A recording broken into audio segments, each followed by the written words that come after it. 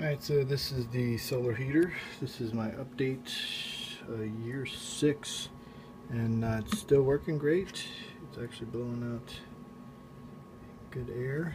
Um, it's got a fan here. It's got a fan on this side, which is an inlet fan. This is a, a house thermostat that I kind of rewired. The wire runs inside. You set it to cool instead of hot and then you basically set it down as low as you can it'll turn it on. And uh, if somebody wants to know how to do this, I can, I can tell you how to do it. It's not that hard. But I ran the, the wire in there with a, a little temperature sensor on it. And um, it basically will cut on the fans when it reaches that. This is a purge system with a bilge blower. That'll open when the bilge blower blows in. Let's see. Very large. That's the little temperature sensor right there. Yeah, so still works good. Everything is like creating heat.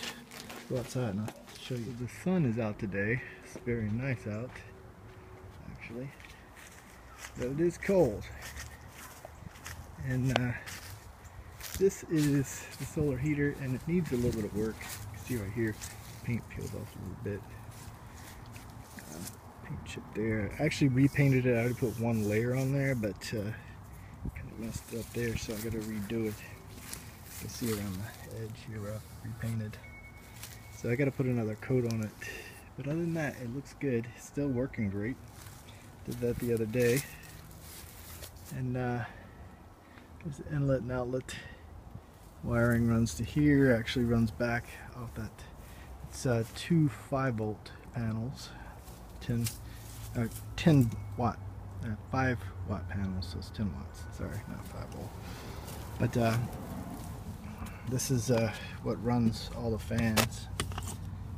And it's still doing good. I probably need to, to replace this battery um, this year. It's been a while and I don't do anything to this, so I don't add water, I don't do jack. Um, it would probably last longer if I took better care of it, but whatever. So this is a charge controller that controls the charge to this battery. So as you see, this battery was bought in um, 2011 and uh, it's been in here ever since.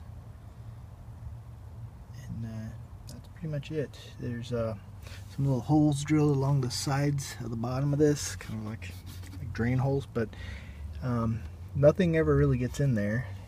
I might mess around, might be spiders in there, but yeah, nothing really gets in here. And then um, you see there little holes here at the top. That's for uh, for this the battery to breathe. Other than that, that's pretty much it. Put the top on, put on top of that, back on top of it, and that's it.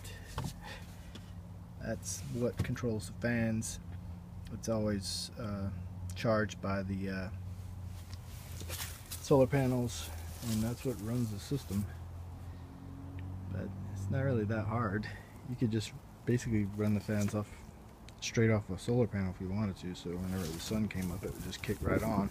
But I like having a control unit in there so if the room gets a little too hot or you know it's just a warmer day I can cut it off. So pretty nice. That's the uh, solar heater. I'm going to do some more maintenance to it and put another coat of paint on it, but it's been out here for a while. So, yeah, that's my update. Alright, you guys take it easy. Have a good one. Peace.